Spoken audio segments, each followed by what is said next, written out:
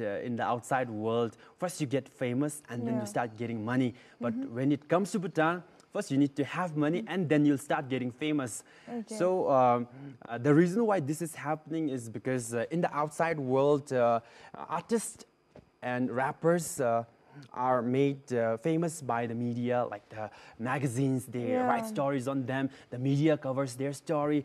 TV stations, uh, you know, they play their uh, music videos. Uh, they have interviews and all done on the artist, and then radio stations play their song, and that's how they become famous. And when they become famous, they get observed.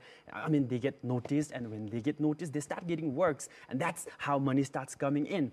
But uh, I think our media in Bhutan is not interested in artists. So we have our top artists, uh, you know, uh, who uh, get wasted as bankers, uh, as guides, etc., etc. You know, Yeah. and uh, in the midst of that, I think the music industry loses, and that's why I think it's not growing that much. And to make situations worse, I think uh, I feel that artists sometimes are abused. Uh, uh, abused in a sense like they are like in the name of uh, uh, platform and opportunity. Even organizers you know they don't pay artists for their performances. So i think these are very discouraging. So we have situations like this.